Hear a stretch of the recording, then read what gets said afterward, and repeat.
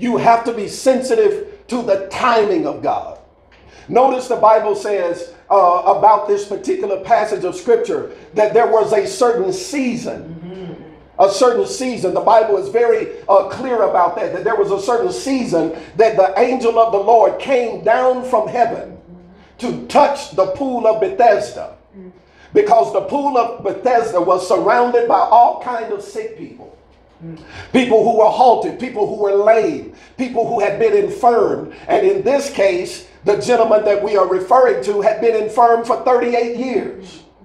But at the pool of Bethesda, all of these people had gathered, and at a particular time, God would send the angel of the Lord to descend from the heavens to touch the pool of Bethesda, and whoever was able to make it to the pool first miraculously became healed.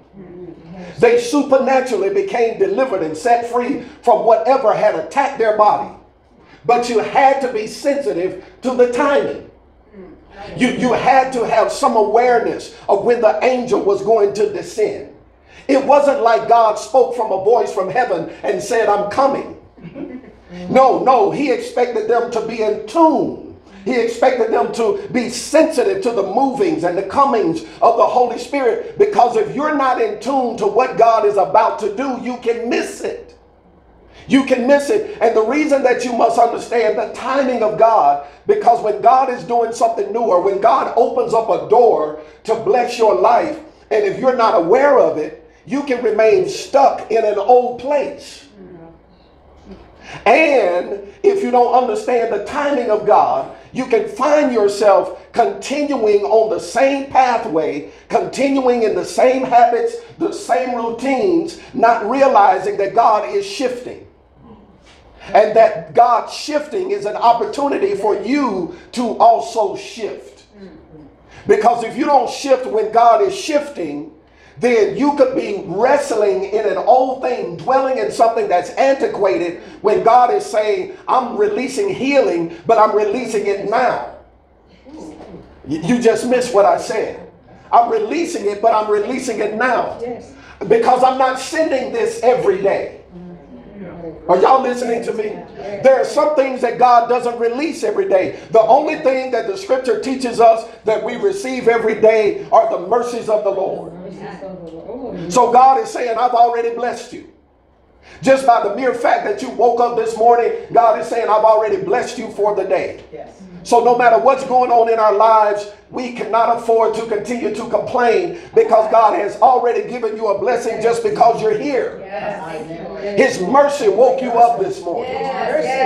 His mercy, His mercy gave you your right mind.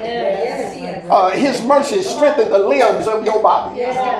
His mercy did that because because before you open your eyes, God released new mercy into the earth, and it was mercy that touched your heart. It was mercy that touched your eyes, your spirit, your mind. It was not your alarm clock. It was the mercy of God.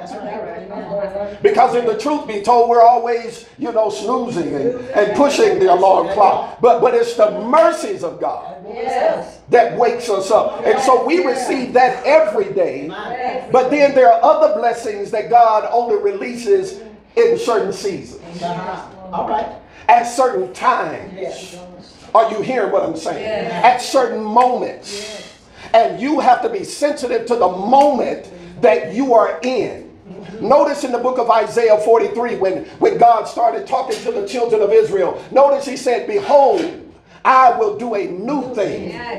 Isn't that what he said in Isaiah 43 18 and 19? Behold, I will do a new thing. But notice he went on to say, Shall you not know it? He asked the rhetorical question Shall you not know it? Do you know what's going on? That, will you miss your season? Will you miss your season for change, for deliverance? Because God is opening a heavenly door for whosoever will can come through that door and be washed in his blood and washed by his grace and washed by his power to walk in a new dimension of holiness and righteousness and anointing as never before. But you've got to be sensitive to the timing of God. Do you know what's going on? Yes. Do you know what's going on? Do you know that God is demanding that you can't stay the same? Have you heard from heaven? Have you heard from the Holy Spirit that God is putting pressure on your life? Because God has a time clock, God has a prophetic clock that is ticking, and God is saying, I need you to come now. I need you to get things in alignment. I need, I need you to get yourself together now. I need you to organize yourself. I need you to rethink things. I need you to reevaluate your life and reassess situations around you because I am calling you now, not tomorrow, not next week, and certainly not next year. All right. Yes. God is saying, I need you to stand up and be counted for now. But if you're not sensitive to the Holy Spirit, if you're not sensitive to the timing of God, you could be like these other people that when the angel of the Lord descends at a particular season, you're still on the peripheral of what God is doing. You're, you're still on the outskirts of the flow of the anointing. You're still on the outskirts of where God is blessing and where God is healing. I don't know about you, but I want to be in the spot. Yes. Are you listening to me?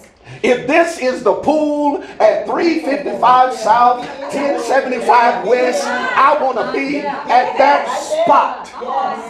And if the angel is coming at 4 o'clock, I don't want to be on the phone. I don't want to be distracted. I don't want to hear nothing about any kind of nonsense. I cannot afford to miss my time. Yes. But the time is for change. Yes. The time is not just to get a blessing. The time is for change, and change is the blessing. Yes. Uh, you don't hear what I'm saying. Because God can give you something on the outside, but if He doesn't change you on the inside, then the blessing on the outside will not be managed or stored over properly. So God wants to give you the opportunity to step into the pool of change. Do you know what time it is? Because it's time to change. It's time for the body of Christ to change. Yes, yes, yes. Are you hearing what I'm saying? It's time for the world to change, and the world is changing. Whether we wanted to or not, things are changing. Systems are changing. Governments are changing. It's all going through cycles and turbulence because God is demanding change. Now, now this is the thing. You cannot afford everything else to change around you and you don't change. Or you will miss what God is doing.